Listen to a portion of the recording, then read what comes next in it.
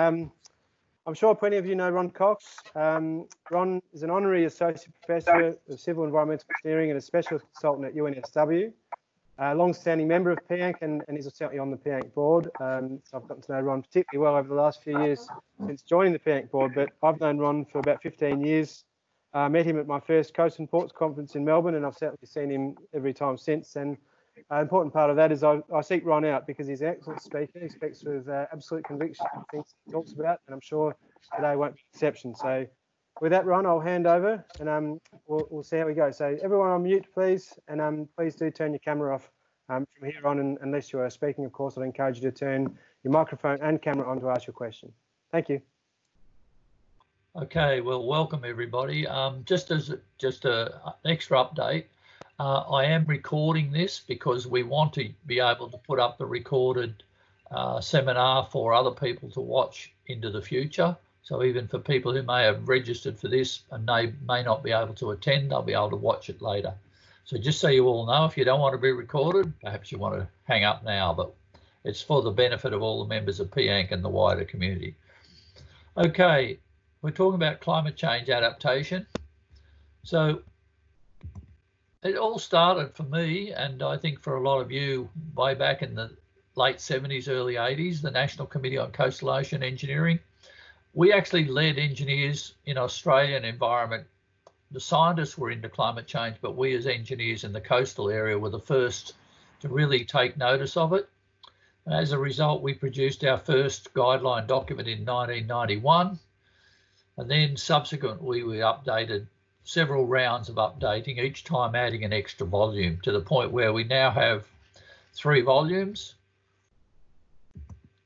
And uh, most of you will be familiar with them. If you aren't, then they're a very good resource for checking through how you consider climate change in a range of different projects. There's a lot of little case study and examples in them. So it's quite useful. Um, along with that, Engineers Australia were perhaps a little bit embarrassed by what the National Committee had done. So they then really started to produce their code of ethics, even though there was a code of ethics when you joined, but they made it more prominent. Also, a sustainability policy, and in 2014, also a climate change policy. Now, all these things are relevant to us as port and coastal engineers practicing in our area in Australia.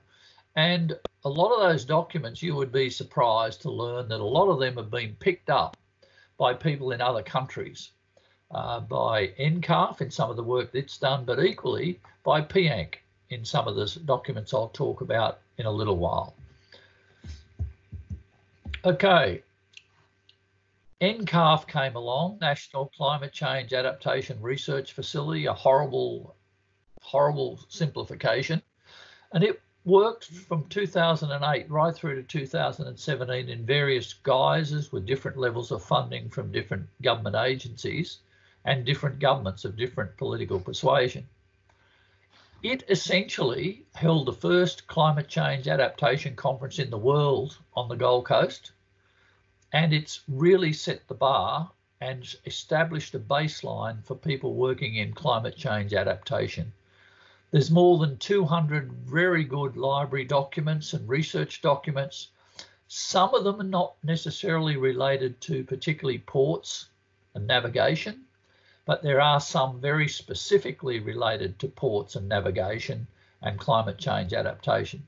So if you're not familiar with it, I'd recommend you go and have a look at the NCARF database, have a look at the library resources, and certainly take advantage of it. PIANC has been active in climate change through its Environmental Commission and the Permanent Task Group on Climate Change for quite a while from the early 2000s. Most recently, in the last two years, PIANC Executive has taken the initiative and joined with the larger transport sector in attending the COPs uh, meetings.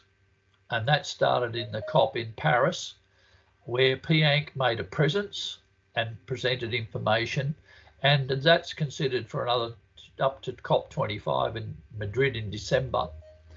PIANC, just before that, the new president actually produced a declaration on climate change. It's only one page, but it's quite interesting. The first paragraph acknowledges very, very clearly that we acknowledge that the climate is changing. The evidence is unequivocal, and it's time for all of us to reinforce that message and to upscale prudent action.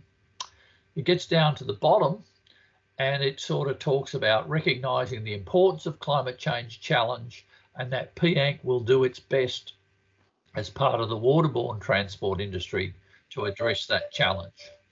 So, I mean, so there's lots of high level policy documents out there.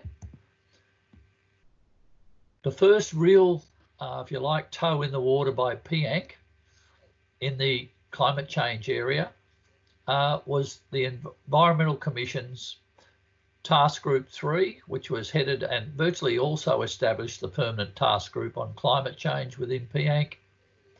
And that report, which I'm going to talk a little bit about now, looks at climate change. It looks at all the drivers, the various parameters that affect the weather and the climate, and how they impact and interact with ports and with waterborne transport. And then look at what's the likely impacts, what sort of responses we might make, and how we mitigate the negative aspects of climate change on our business. So the common platform, that P PT uh, Task Group 3 report out in 2008, it started in 2004. Okay, so these things, it took a long while to get the group together of anyone who you who's worked on a working group with MPA, you know, two years is pretty quick to get a working group report out. This one took four years and it involved a lot of people from various countries. It's a common platform for all PIANC activities. It tried to be, you know, the, the, the guide for everybody. So, of course, that's why it took so long. It's based on the International Panel for Climate Change AR4 report from 2007 so the science is 2007 AR4. All the climate drivers are what you would expect sea level rise, tides, wind and wave action, ocean circulation, coastal hydrodynamics, coastal estuarine and river morphology, intense storms. Okay, so I'm in this uh, looking at the TG3 report. We were talking about the climate drivers. Um, we then move on to the impacts on the maritime and inland navigation infrastructure. It looks at potential adaptation and mitigation responses. And then it looks at navigation contributions to greenhouse gases and talks about what sort of things we might do to reduce the impact. So it's a mitigation effect in climate science terminology of the transport and port sector, how we might mitigate and use less or produce less carbon emissions.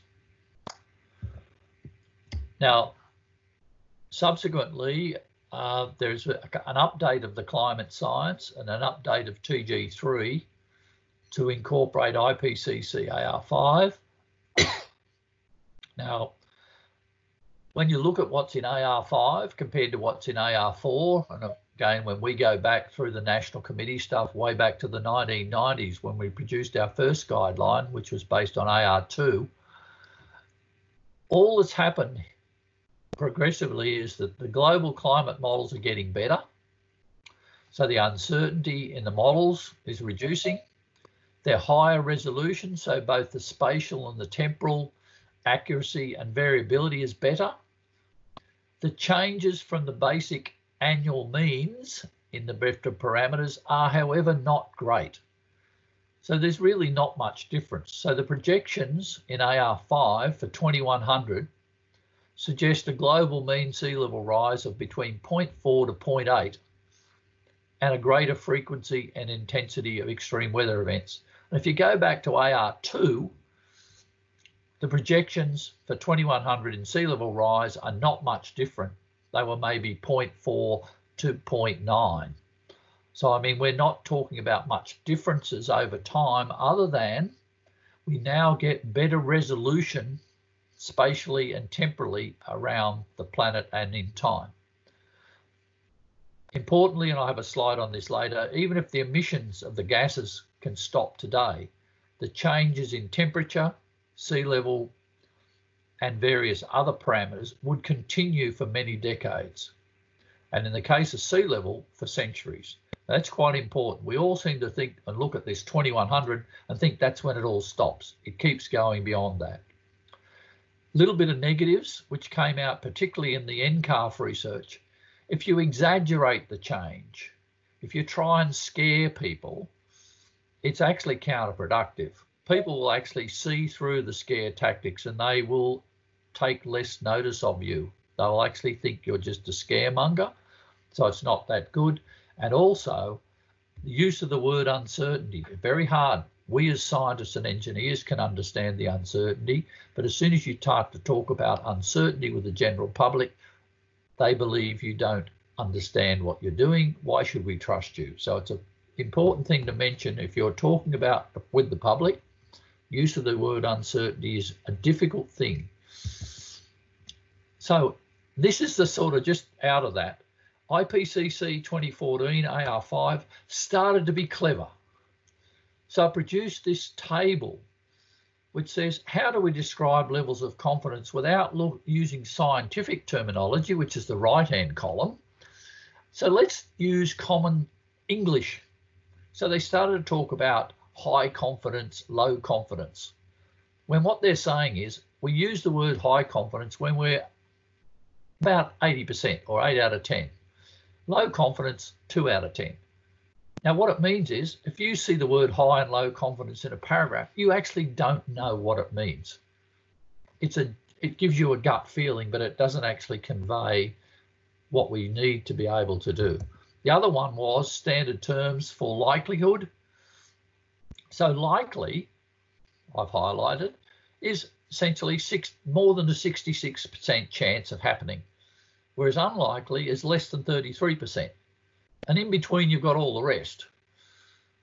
So you can understand. So when people start to use this terminology, there's a lot of discussion within IPCC whether this was a forward or a backward step. Trying to make plain English version without dealing with specifics may have failed. So if you actually get down to the nitty gritty of looking at the temperatures, increasing temperature up to the point in time where we are now. You know, nothing much is happening.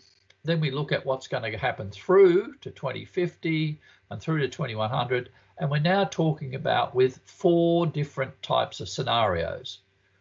Now they're called RCPs. I'll talk about that in a minute, but you can see with one, the temperature, we keep it below two degrees. So we get about a one degree temperature change, which is the low emission scenario. We go up to the high emission scenario, RCP 8.5, and the temperature may go up to four degrees as the mean worldwide average, but it could go equally as high as five or nearly six degrees at the 95% confidence level. Okay, sea level rise, again, you get the same sort of curves. You've got the RCP 2.6 going up to the RCP 8.5, but with sea level rise, you'll see that the spread or the confidence limits get wider. So if you so if you go back, you have a look at the spread for the temperature, have a look at the spread for the sea level rise. It's a it's a parameter that depends on the so the temperature is a primary parameter and the sea level is something secondary and the differences are bigger. Okay, but these are the typical graphs and they all stop at 2100. Some of the graphs in, in the AR5 go well beyond that. They go out for four or 500 years, but generally these are the ones that are not published or talked about. But you need to be aware that it all just doesn't stop at 2100. So what's a rep representative concentration pathway? It replaces the scenarios and again, within AR4, they had a low level, a low level of carbon emissions. That's still a low level, but it's now called RCP 2.6, going up to a high level RCP 8.5. And what does RCP mean? It's the radiation that is actually going to be there above present day pre-industrial levels at 2100. So it's saying that if we follow RCP 8.5, which means we pretty well don't do much beyond what we were doing 10 years ago, the radiation forcing will get up as a result of carbon dioxide and other gases building up in the atmosphere. We'll end up with the radiating forcing of 8.5 watts per square meter. Now, again, is this this is stuff that really made it easier for the modelers, the global climate modelers, but it doesn't make it easier for the general public to understand. You know, this is some abstract thing that tells us, you know, under RCP 8.5, what does it really mean? Oh, well, the forcing, radiative forcing is going to get up to that. And no one knows what it means. You and I don't even know what it means. But if you're a global climatologist, you do. So we just need to be aware that some of the things in AR5 haven't made it clearer for the general public. They've made it clearer to the specific climate scientists. This is a good graph. I like it. And you, it's it's just it's a graphic impression. So if we look at over on the axis, the y-axis is just the range of uncertainty. So if we start off with greenhouse gas emissions, they're the things we can actually measure them. We can understand what they mean. Okay, so we can control them. We can try and reduce them, which is what we're trying to do with mitigation. Then we look at, okay, well, what does that mean in terms of greenhouse gas concentrations?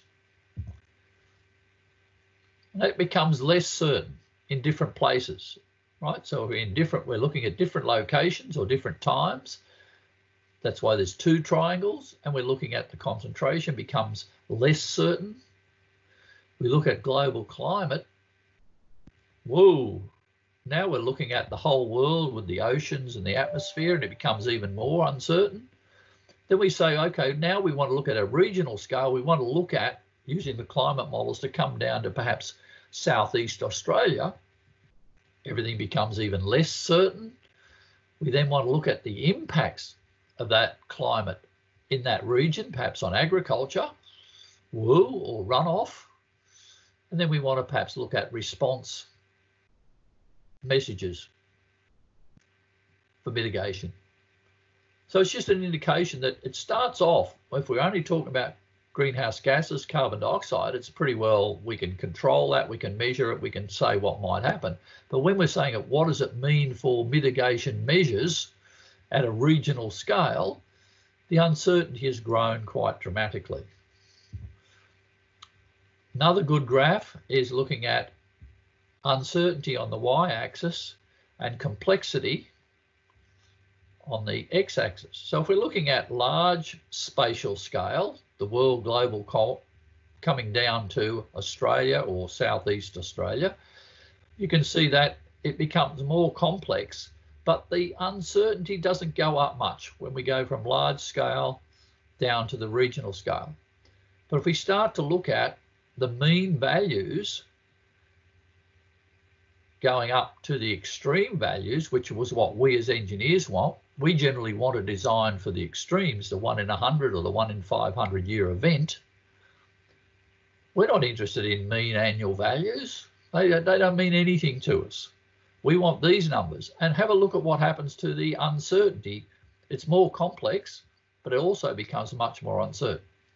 And even further, if we start to look at temperature going through sea level on the green curve, all the way up through wind and waves, all the way up to water quality and then impact on eco ecosystems, you can see what happens. In that pathway, the complexity increases and the uncertainty. So if we're trying to look at what happens to an ecosystem in response to a coastal wind and waves and what happens to those ecosystems around our ports, you can see what happens. It's becoming very complex and our results are quite uncertain. We need to be careful how we interpret and present them.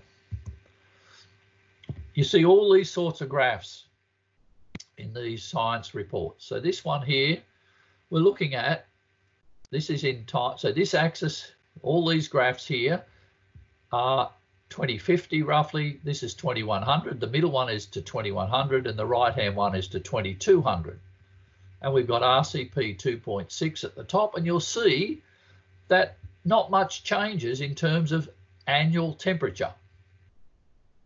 This is going right through to 2200 in RCP 2.6. And you'll see, in fact, by the time we get 200 years out, it starts to look a little bit better. So if we can control the emissions with 2, RCP 2.6, we can actually see in 200 years we might be getting a bit better. In contrast, you go down to what happens with RCP 8.5, and woo, by the time we get out to, it just keeps getting worse and keeps getting hotter. And by the time, and it's going to just keep getting hotter. But in between, it's quite complex in time and in region. Sea level rise beyond the temperature, as we saw in the green graph where we go to sea level rise, this is up to date. So at this point in time, we've got all these records. These are the mean annual sea levels from around the world. I'd like to point out to you that you can see that each year there can be variations of the order of 0.2 to 0.3 of a metre in the mean annual sea level around the world. Locally, that can be worse. So up in Oregon State, uh, uh, on the on the west coast of the US, you can actually get annual variations of the order of 0.3 to 0.4 of a metre in the mean water level just depending on the ENSO and the other other major climate drivers and climate circulations.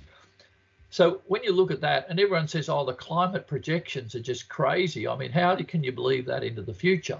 Well, the big problem is they grow exponentially, but equally, we're not showing the annual variability that is there already that we know about.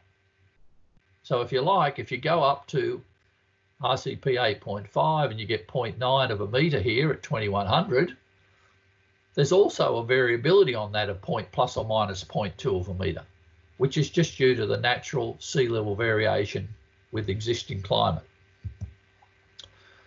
Changing wave heights really matter or don't, depending on what you're doing. If you're running ships and you've got a real-time system looking at storms around the world, and you're looking at your um, just-in-time delivery of products and shipping, then you know all about these world maps of wave heights and you know that you can vary your shipping path. You can actually find ships will actually change their travel path to avoid big storms or hurricanes or typhoons.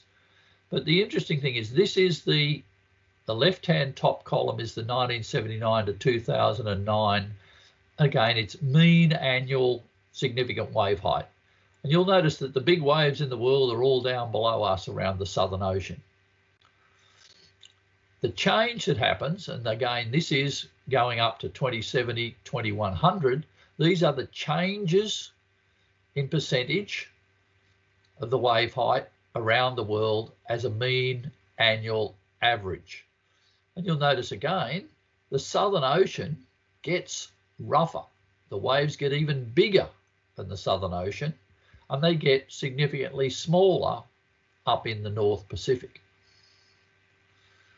But there are significant differences between the January, February, March, Northern Hemisphere winter, our summer, but particularly for us, have a look at what happens in our winter, July, August, September, which is the bottom right hand D, we have significant, again, increases in wave height in the northern parts of Queensland and below uh, in the Southern Ocean, affecting the southern part.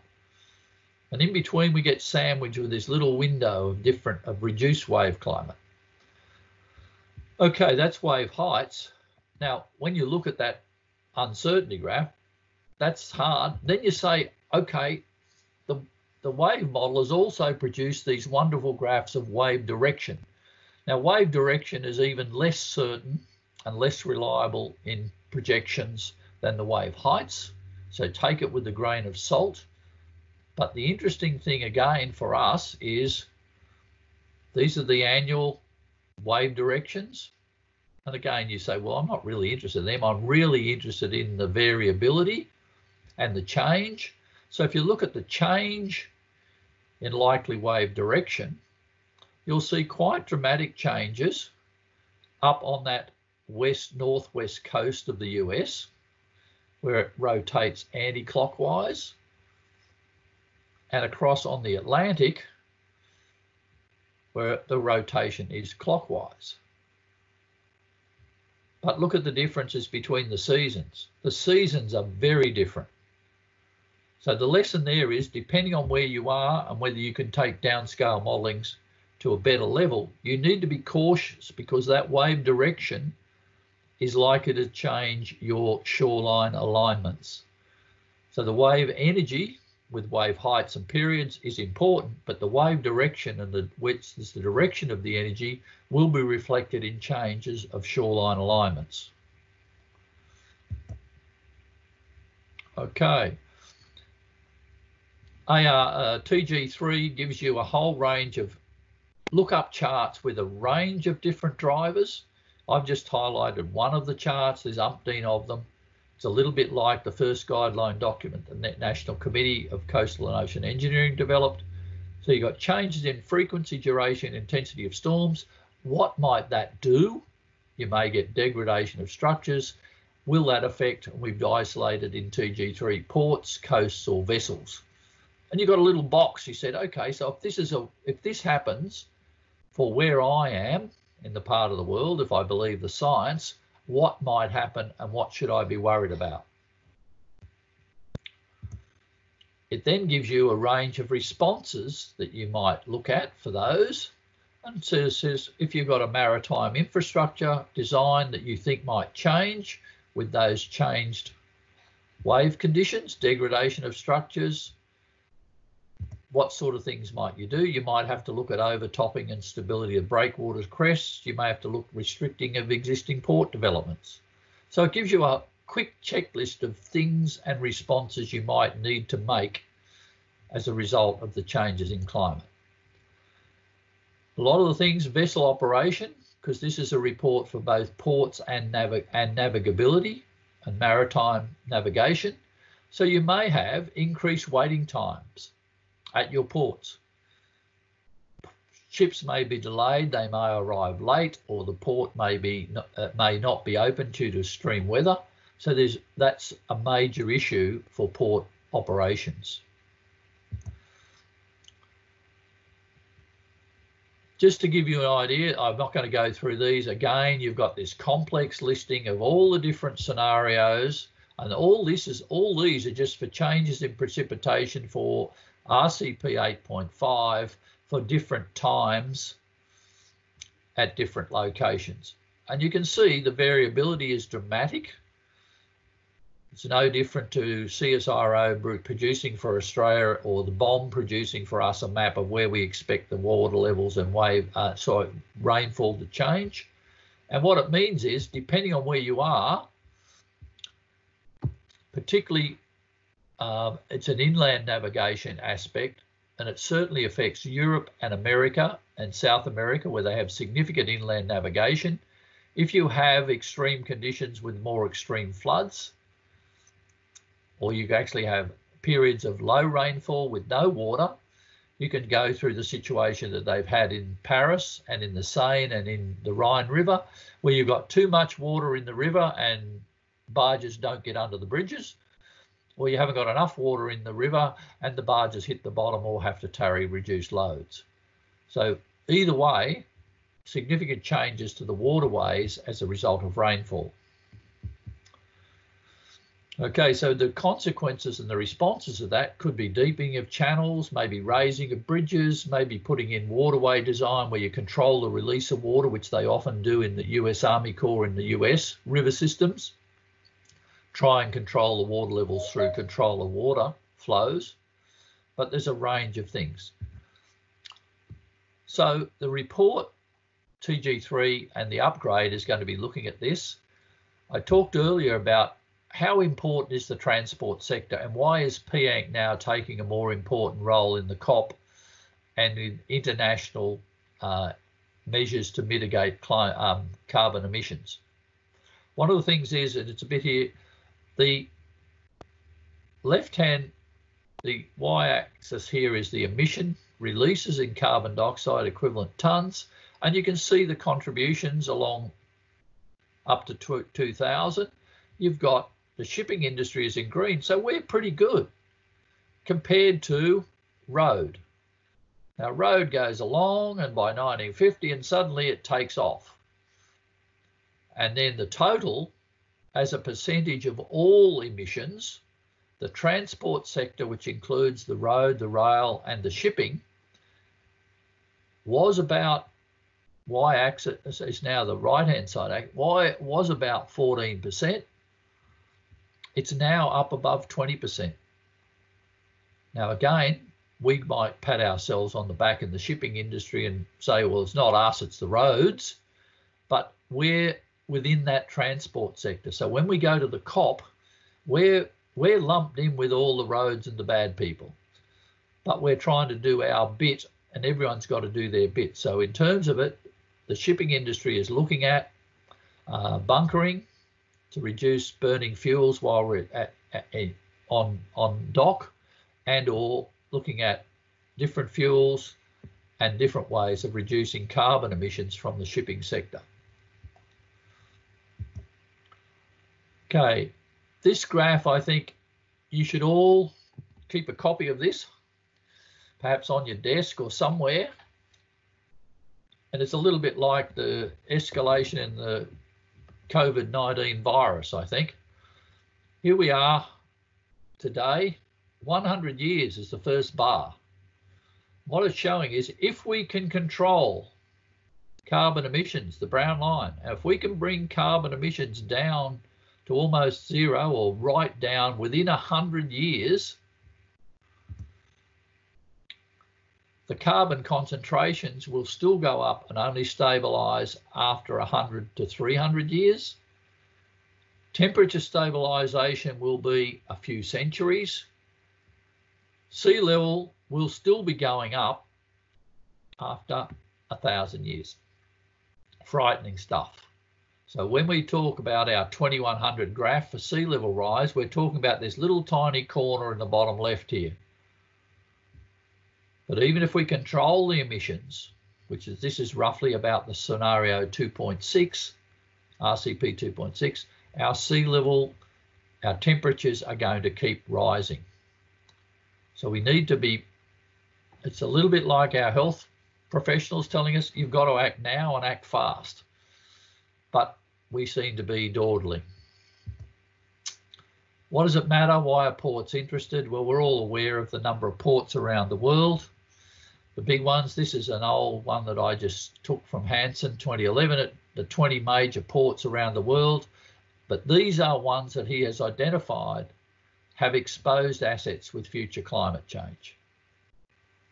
Okay, so they're quite, we don't rate because we're not big enough. And in fact, most of our ports, other than up in the northwest and the northern part of Australia, don't necessarily have too much of a problem with climate change. But it is of concern to everybody. Okay, PIANC, ENVICOM, Permanent Task Group on Climate Change.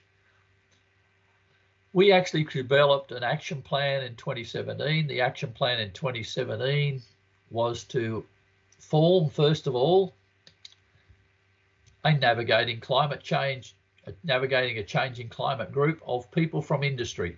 And that group was established under the auspices of PIANC, and it exists now. And you can go to their website, just navclimate at pianc.org, and you can find it on the PIANC website.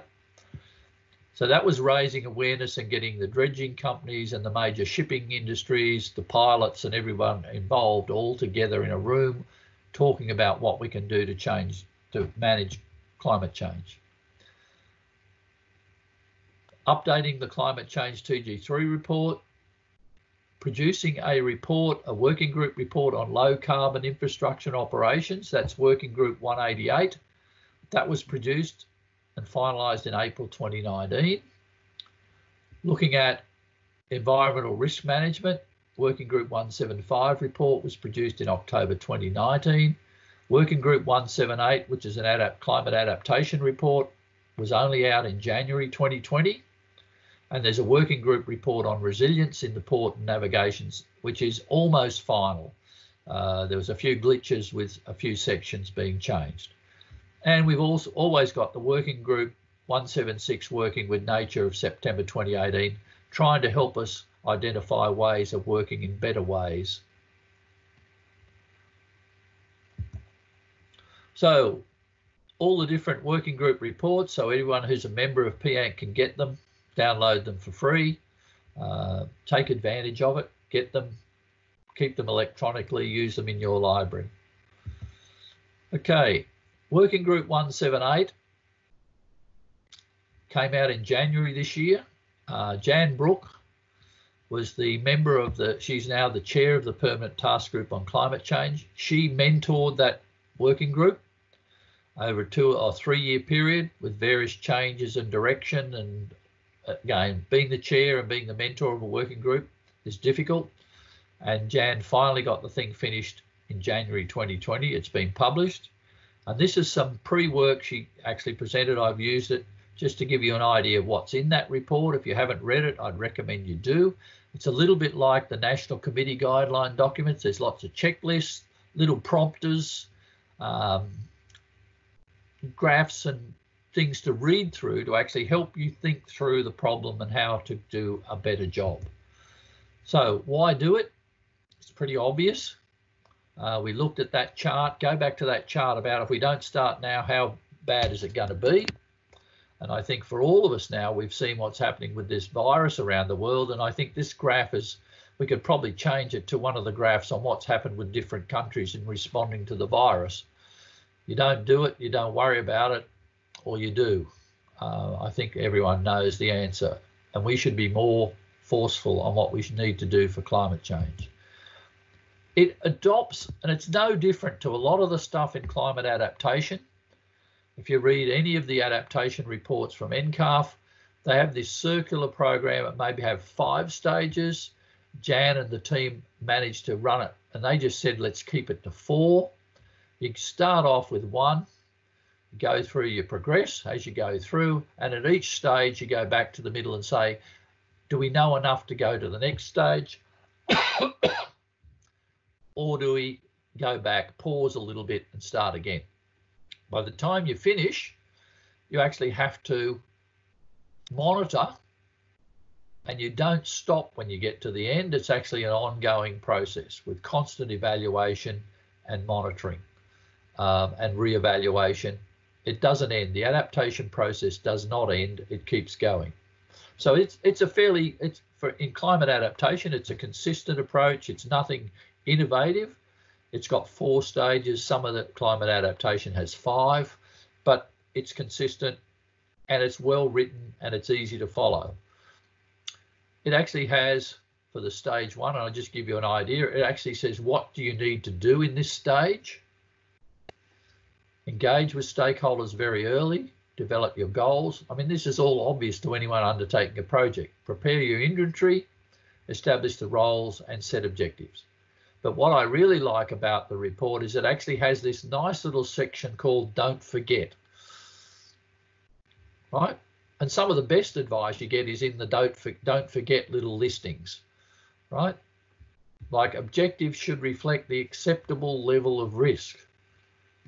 You need to clearly discuss with your stakeholders and developing your goals what is an acceptable level of risk for your particular project. Okay, it goes to climate related impacts. This is where you assess and understand all the, the, the morphology and the climate. You assess the critical assets. You understand the science and you implement some monitoring. Okay, so it's, it's pretty straightforward. Stage three, a risk assessment, examination of options, and then a, cho a choice based on reducing the risks and how you might proceed with actions. Excuse me, I'll just have a glass of water.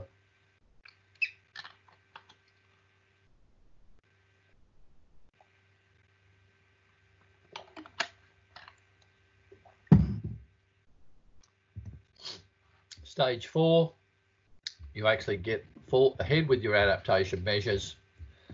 And this is the point where you actually have to look at, obviously, low regrets measures, win-win low regrets, something that you know is going to take you in the right direction, doesn't cost much, and you can do it quickly. Always is obviously one of the first things you want to do. Retrofitting can be costly. So if you're building a new project, make sure that what you decide to proceed with can be upgraded into the future. It's no good building yourself into a corner where you build a, Rolls Royce structure that can't be modified or adapted. Okay, so when do you act? Range of ideas.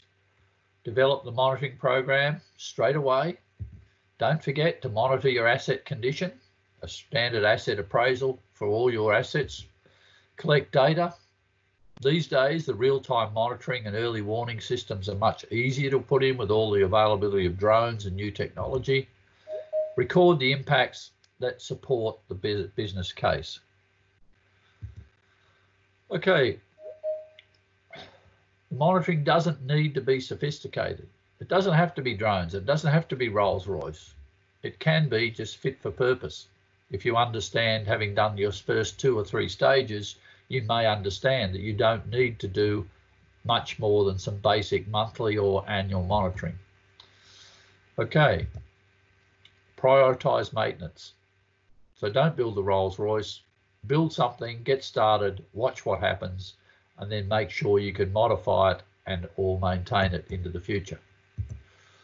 Key messages, do what you can and prepare for what you can't promote adaptive management and flexibility, engage all stakeholders for integration, and review the business case and investment financial criteria, and facilitate information exchange and good practice with yourself, with the stakeholders, and with other colleagues.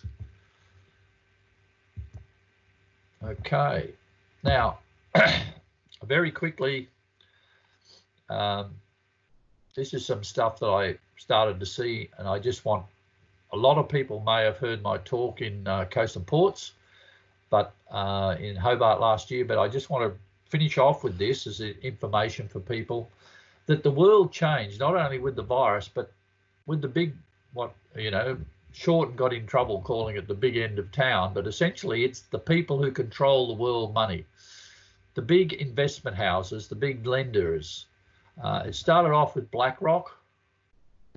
Uh, they were the ones that started to say to people, we won't lend you money unless you can show to us and your shareholders that you're not going to leave us with stranded assets by taking risks with future climate change. That's how it started. By 2016 17, they had most of the big people. They had Moody's, they had Standard and Poor's, they had a lot of the big investment houses already involved in a group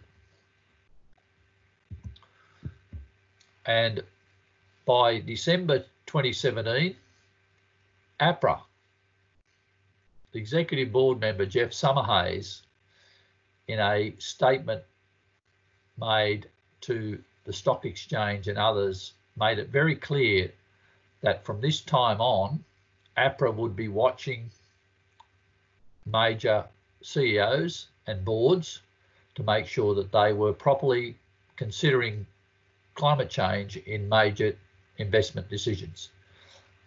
and they developed a task force, the TCFD, the Task Force on Climate Related Financial Disclosures, and they have set a standard. They've almost got a metric, fill in the form checklist.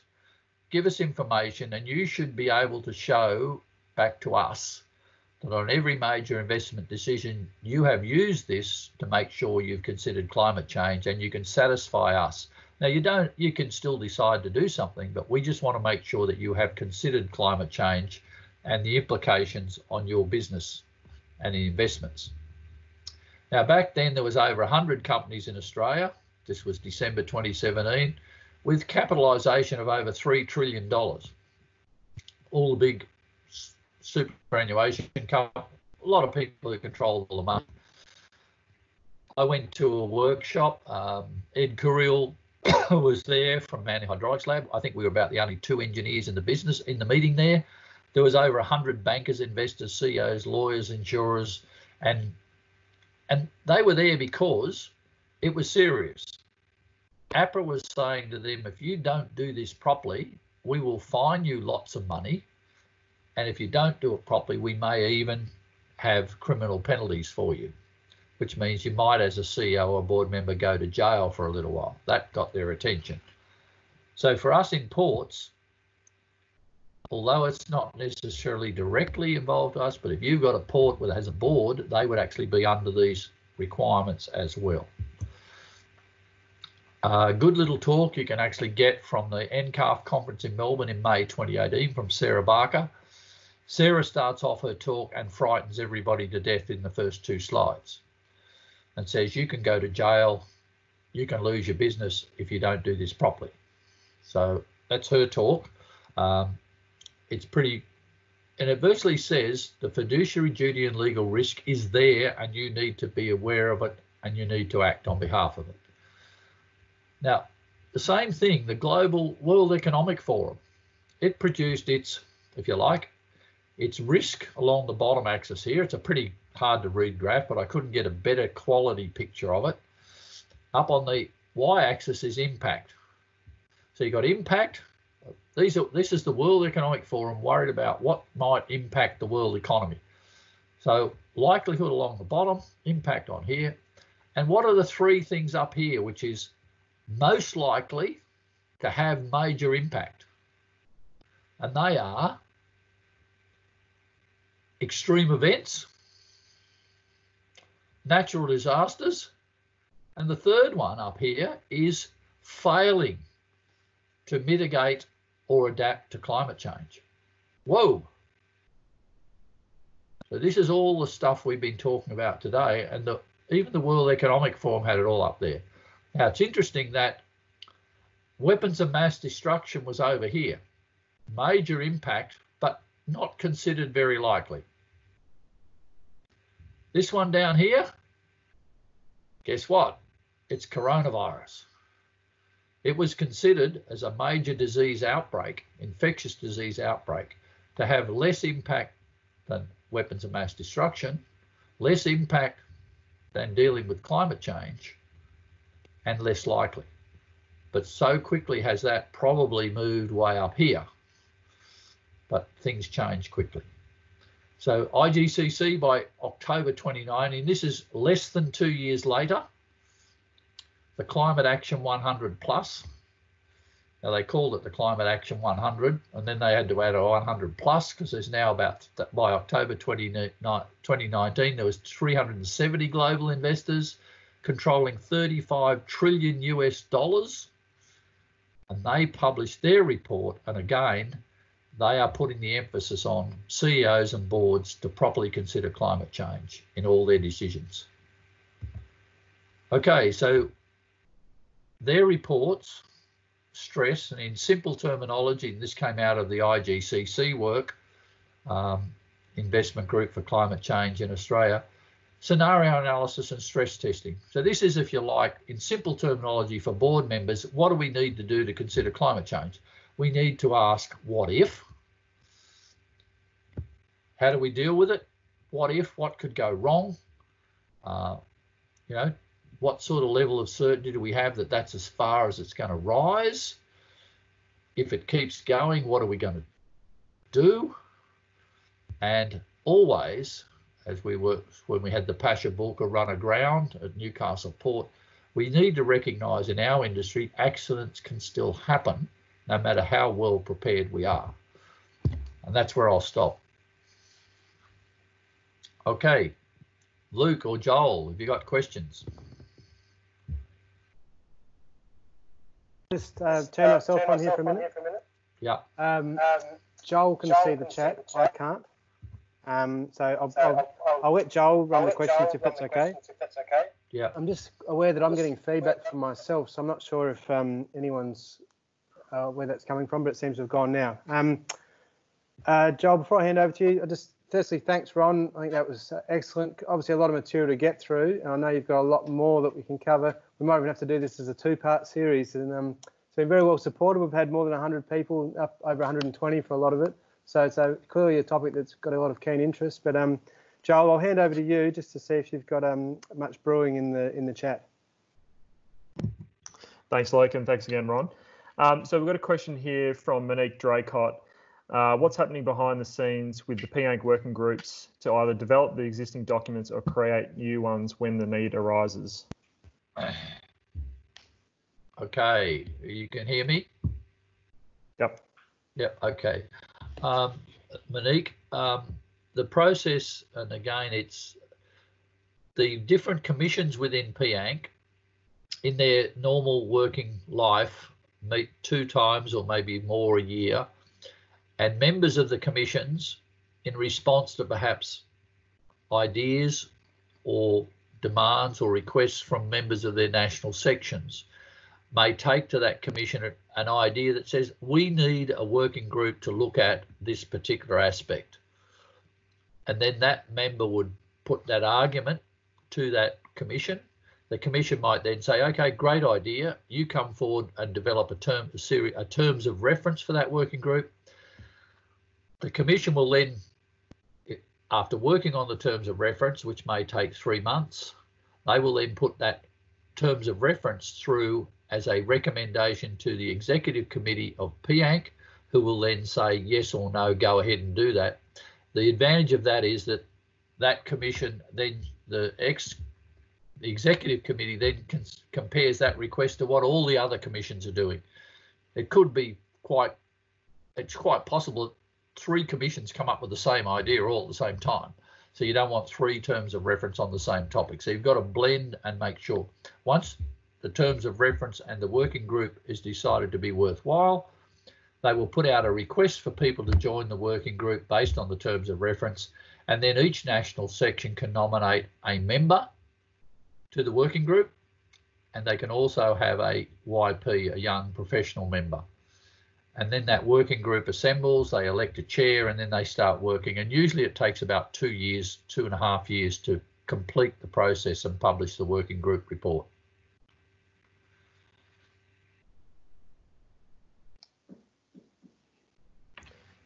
So, um, folks, if anyone has any questions, just uh, write them into the chat. Um, if someone has asked a question that you'd also like asked, you can you can just like it rather than typing out the same thing again. Um, Ron, I'll throw in a question from myself. Um, from what you've seen in terms of um, what ports in Australia and New Zealand are doing, um, I guess how do you see the state of, of our climate adaptation for Australia and New Zealand ports? Um, sort of how advanced is the work that we're doing um, down here compared to the rest of the world? I think the again, I'd say to people that if you haven't seen it and if you can't find it, um, uh, RMIT won a contract from under the NCARF research funding to look at port resilience. So it was a four volume series of reports on resilience of ports with climate change and adapting ports to maintain resilience. Uh, that's a good report series. Um, if you haven't read it, it's got a lot of good information and good ideas in there. It used as case studies um, Port Botany, Port Kembla, and Gladstone. So they were they were three case studies that were involved within that, and the ports cooperated with the research that was undertaken to look at that. So I mean, mostly it came up with the idea that most of the ports, and again I've got a, you know, no northwest shelf ports. Sorry, you West Australians. So that uh, the work was done by RMIT out of Melbourne. Uh, it involved various uh, ports on the east coast. Uh, Gladstone was there, Port Botany, and Port Kembla. Now, for those ports, their biggest risk, or they saw their biggest uh, impact from climate change being uh, changes in extreme weather. It wasn't. I mean, it was. It was. It was quite clearly. It was changes in extreme weather uh, impacting on the operation and particularly on the both the land side and the seaside supply chains. Now, I don't think that's dissimilar to many ports around the world at the moment. Sea level rise wasn't seen as a major issue for them because most of them when they've done their upgrades or built more expansion or put new docks in or new berths in, the design has already allowed for climate change. And, and because of the National Committee guideline work back in 1990, most new port or any new developments on the coast or in ports around Australia has already been considering sea level rise and climate change in the design and implementation work for more than 30 years.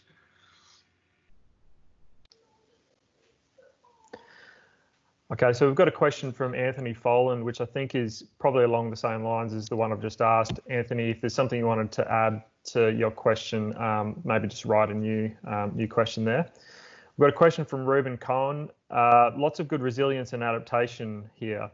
What role does PIANC and the sector generally have in mitigation rather than adaptation?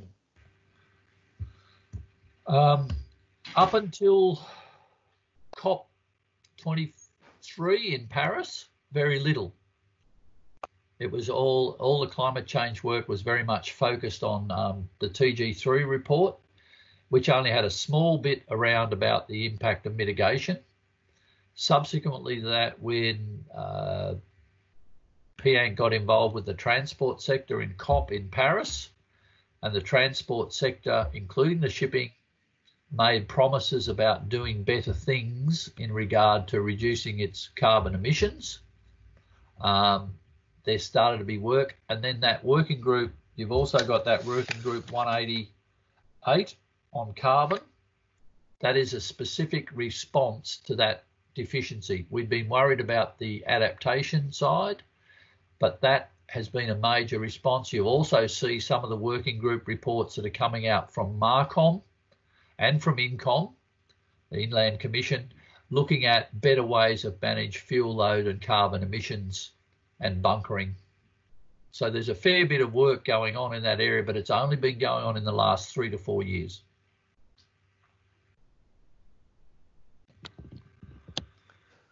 Okay, a couple more questions here. One from uh, Ronald Sarley. Hey, Ron, are you aware of any ports specific indicators for exposure, sensitivity, and adaptive capacity used for qualitative vulnerability assessments in Australia? Um, again, that RMIT work actually had some guidelines for creating those sort of vulnerability uh, metrics.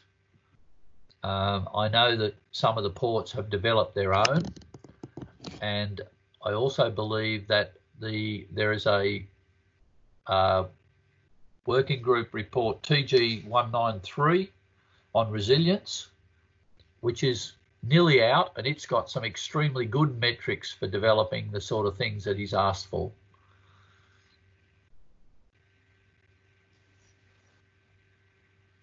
Okay. Um, Question here from Harry Sinako. What are your thoughts on Infrastructure Australia listing of coastal inundation protection strategy as one of its high priority initiatives?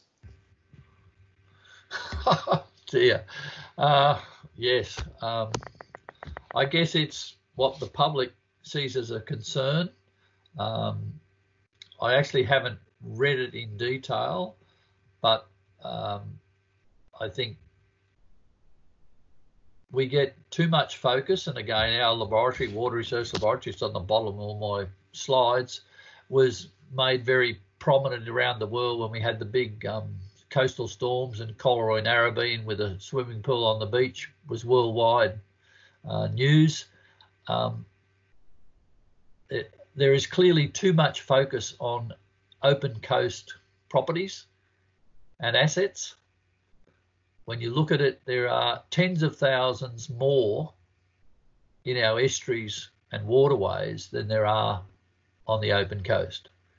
So the emphasis on inundation of the open coast uh, is is incorrect. It should be the emphasis should be on the inundation and damages and flooding of properties around our estuaries and lakes, coastal lakes and lagoons. Okay, um, in the interest of time, we might have to make this the last one. Um, but Luke, you can let us know about timing. Uh, question here from Ingrid Lambert.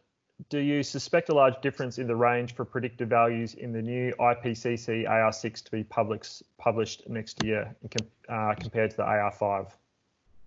Um, again, I think the only difference would be the possibility that there may be more discussion and more emphasis on. I'm just going back through the slides. Can people see me going backwards? I don't know whether it's still there. We can see that, Ron. Yep. We can see that, right?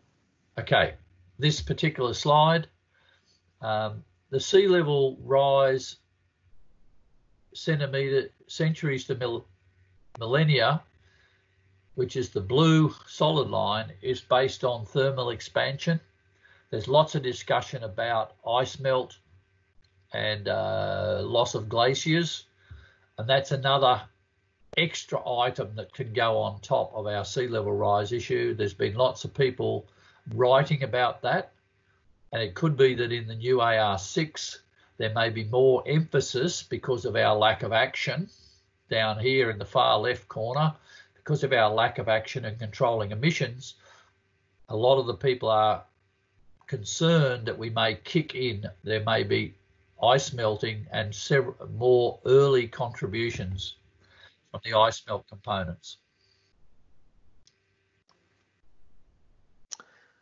Okay, um, there's a couple other questions here which uh, we haven't answered, but I might hand back to Luke now. I'm um, not sure how we might um, capture these questions and um, answer them outside of this session. Okay, well, look, we will um, we will be doing something on our website going forward. I'll just give a, a bit of a general update. Thanks again, first to to Ron uh, for for that, that great talk. And again, I think there's enough interest that we should be considering what the next step might be in terms of another presentation. Uh, thanks to Joel for your help with the questions there. Um, appreciate that. You can see we have had some uh, teething issues, guys. We are working on um, trying to make this a more regular feature. And in fact, uh, before COVID came around, we'd already been um, discussing as a board how we can better reach out to um, our various members in various places in Australia and New Zealand, uh, particularly those in regional areas. Um, and this is certainly a step in the right direction. So um, we had nearly 100 people sticking around for the questions. It's dropped to about 85 now, which is still really encouraging that people are interested. Uh, we do have plans to improve the amount of interaction that we can get out of something like this because um, uh, in various surveys we've done, we understand that that's one of the most important things that people take out of their PIANC memberships. Um, look, before I sign out properly, um, keep an eye out for future events. We are going to ask the various regional chapters to try and cycle through and um, and keep some interesting stuff going through the next few months. Um, I think people are crying out uh, for, for, for, as much as they can get. Um, please do reach out to your regional chapters, even in this time when we can't meet in person. Um, I encourage you to reach out for the both the camaraderie, the, the, the, the, the, benefits for young people in your careers uh, is, is just um, it's huge, it's enormous, and the people you interact with. So I encourage you, if you haven't had direct contact with your local regional chapter, please do reach out and keep an eye out for it. Um, but again, thanks for both participating and thanks for sticking around. And um, we're going to have a recording that will be posted. So if you missed this or you want to pass it on to a friend or a colleague, um, then keep an eye out on the website. And we'll also be adding some sort of, um, yet to be determined how we'll do this, but we're trying to get some sort of forum going that will allow the exchange of ideas and, and a few questions that are still outstanding from this talk will be a pretty good place to start. So if you haven't had your question answered, if it comes to you later, please do keep an eye out over the next week or two um, and we'll, we'll, certainly have something up and running soon. So Ron, I'm not sure there's anything else you want to say, but thanks again, and uh, look forward to your, your next talk, whenever that might be. Thank you. I'd just like to thank everybody for tuning in, and I hope I didn't bore you too much. So uh, that's all.